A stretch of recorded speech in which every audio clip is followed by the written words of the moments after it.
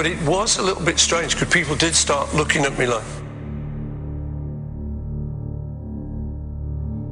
is it is it him or a very good double? Well, that was the idea. That was the other part of it, that there was a guy who looked like you taking your place. No, well, this is him.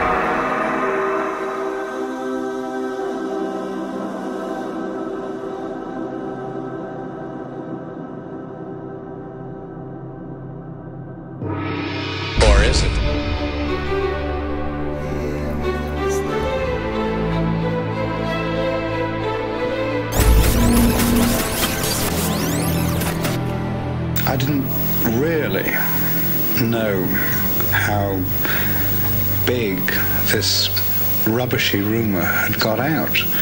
Uh, you know, it was all beyond and above the five of us. And I thought that I scotched the rumours in London with various announcements. I even got them not to say anything about it because it was all so stupid.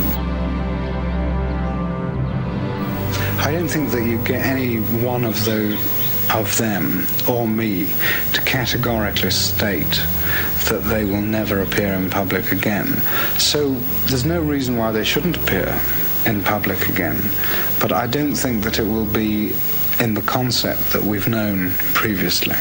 We've got a definite idea uh, which needs developing and we've got definite ideas as to who should develop it, and we've got definite ideas about what sort of director should be involved.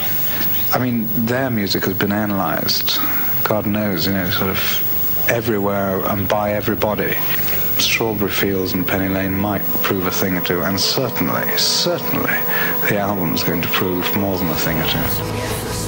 Paul is the only one standing with his back to the camera. Inside the cover, McCartney's look-alike is wearing an armband with the letters OPD, which in England means officially pronounced dead. The McCartney uh, situation uh, is real. They replaced him with somebody special and did some plastic surgery. We got Dr. Henry Truby. Dr. Henry Truby. Somebody else was singing at a time when the fans and when the label would indicate that it was Paul McCartney. Despite all rumors and reports to the contrary, Paul McCartney of the Beatles is alive and walking around. If a little irritated that people keep saying he is dead. Here's a picture of him made Wednesday night in Glasgow, and he is on his feet, alive.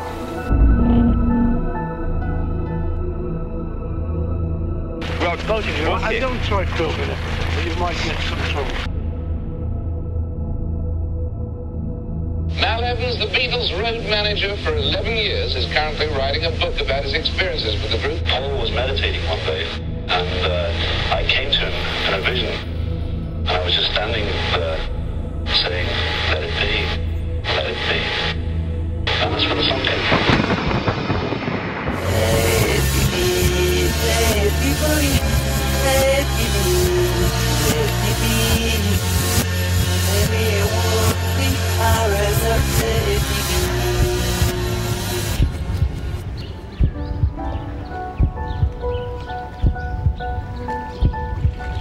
This guy is a soldier. I mean, this is the devil. He's not a human being. He instructed his devotees to learn how to read backwards. Thus, the proof of his claim exists in the manuscript itself. to pick up more information and give them more power over others. That is what Aleister Crowley was asking his devotees to do.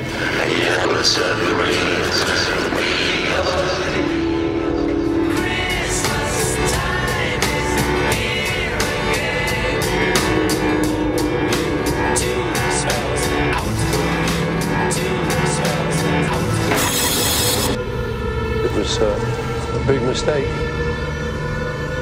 It was almost as if I wanted to get busted.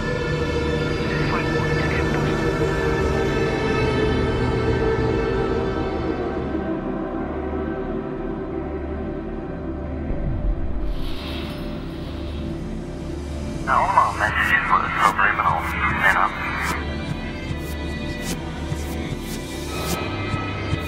remember with Paul McCartney in London, if you run the show backwards, it will not say Paul dead, Paul dead, Paul dead. That was as true. Paul